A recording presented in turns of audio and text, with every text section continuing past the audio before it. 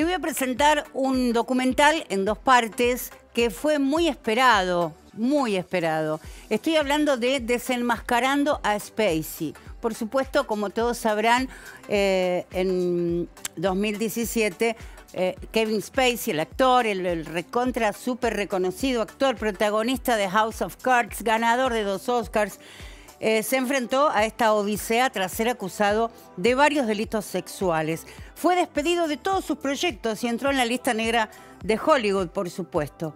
Este documental con relatos de hombres que hasta el momento habían decidido no compartir sus historias públicamente, llegó este 13 de mayo y te lo traigo hoy, por supuesto, aquí, en Sensa Max. Mira.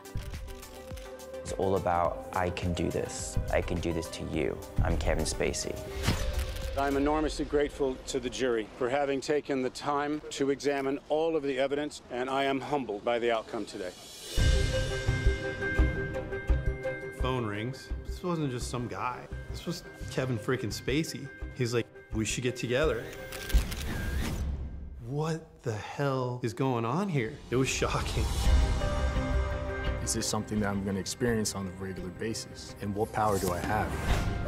Acting was a way to escape where he came from. This is his dream job that's now turned into a total nightmare. There is a humiliation.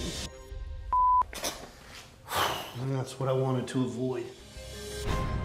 I just felt like I was staring into like a soulless monster.